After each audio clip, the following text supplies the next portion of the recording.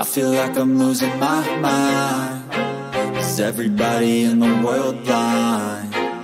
Please, Lord, give me a sign A sign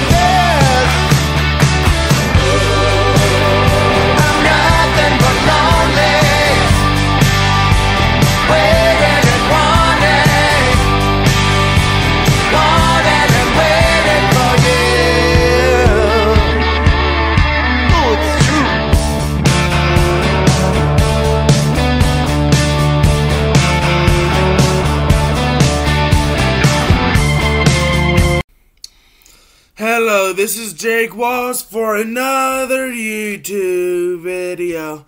If you like this kind of content, movie reviews, music reviews, and everything movies and music related, and that's your jam, then click that subscribe button and like this video. If you like this kind of content and stuff lying that, I have another song review today, which is the new Black Crowes song, Wanting and Waiting.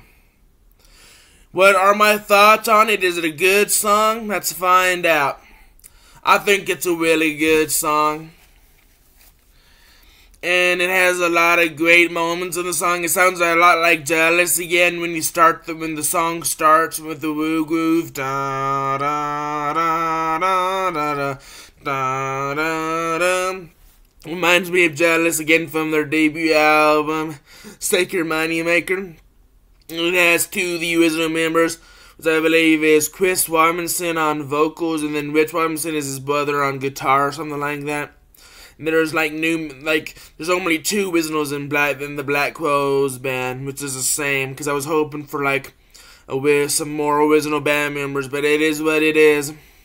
There's their longtime bass player, he's in the band, but that's about it. I think it's a fantastic song. Chris Warmanson sounds amazing on vocals. He's an amazing singer, still sounds amazing. I love the production on this album, on this song a lot. Their new album is is called Happiness Bastards, being released on March 15th of 2024 of this year. Looking forward to it. It's almost springtime, almost. Springtime, and everybody springtime. Ooh, sorry. I don't know why I did that. But I really love Wanting and Waiting song. It's a fantastic song from start to finish. I just love the guitar riff in the beginning and then and then it starts kicking in with the vocals and stuff like that. It's a fantastic song. I'm wanting and waiting, wanting and waiting for you. Something like that waiting and wanting, wanting and waiting for you. It's a fantastic song. But anyway, I do love this song from start to finish. It has a lot, it's very catchy and hard walking and blues walk sounding to it as well. Like I said before, it reminds me of their song from the first album, Jealous Again, for me anyway. Let me know what you think of the Black Crowes' new song, Wanting and Waiting, and your thoughts on it in the comments below. I'd love to know your thoughts. I would actually give the Black Crowes' Wanting and Waiting a 9.5 out of 10.